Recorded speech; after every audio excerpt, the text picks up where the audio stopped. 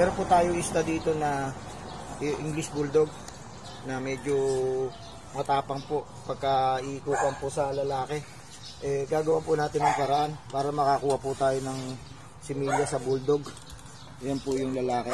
Helios! Helios! Ayan. Ito po yung gagawin natin paraan para sakali makakuha. Sa Chihuahua na lang po tayo magpapa magpapaamoy po. Yan po yung Chihuahua. Nag-hit po siya ngayon. Eh, try po natin.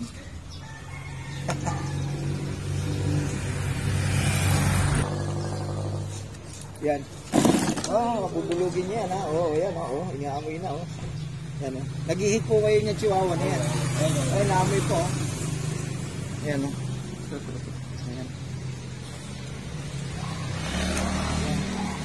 Yan, talaga po gagawa natin ng paraan. Standing hit din po ngayon to.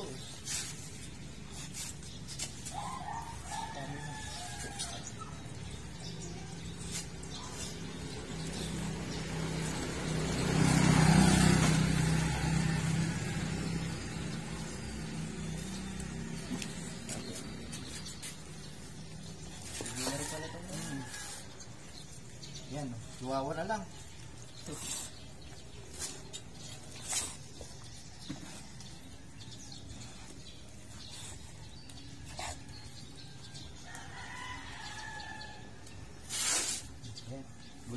Chihuahua. Ah, so akete no.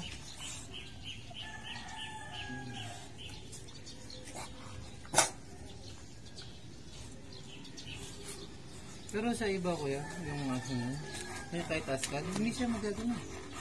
Meron ka mo, may pagkaano hindi mo ano. First time na makakita na may kamukha, ang kamukha niya eh.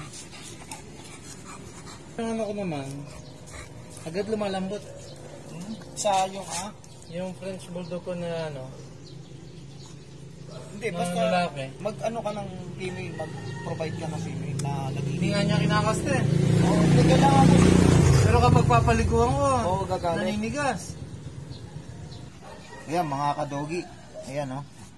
Nakakuha na tayo ng similya. O, dahil doon sa Chihuahua. Ayan, oh.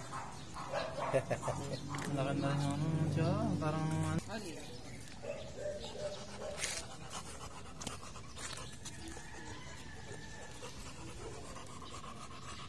Kaya ko lang, ko lang.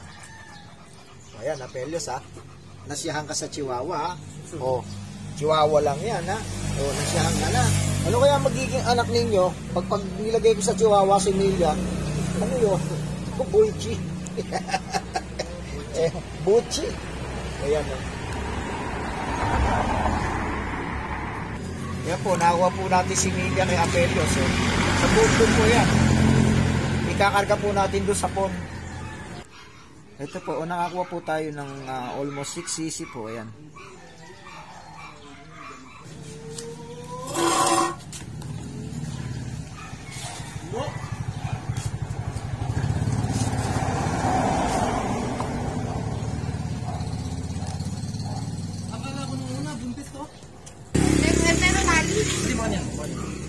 Ayan, lula na po siya. Lula na siya.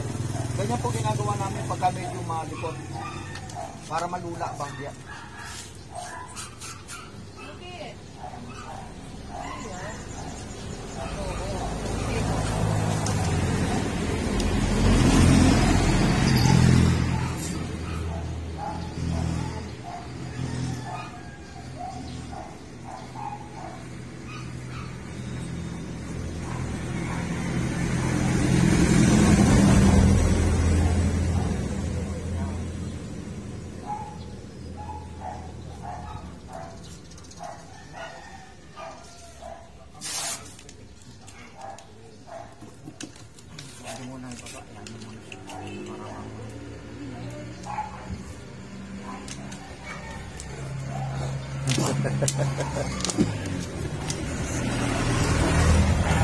Malakad-lakad-lakad yan po.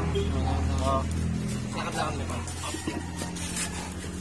Yan po, mga kadungi, mga ka-shooter. Ah, pagka po medyo wild po ang female, yan po yung isa po sa technique po natin na at kahit pa paano, ah, pag i po natin, kung wala po talagang ano, gum- gumamit po tayo ng ibang female para po medyo mag-ano po yung lalaki, maging aggress- aggressive, makakuha po tayo ng similya. Ngayon, pag medyo wild po ng konti yung female, patong nyo lang po sa mataas ng konti para po medyo malula, hindi na po siya makapaglikod. Ganun lang po mga kapatid na kadogi, mga ka-shooter, ang ah, technique po natin.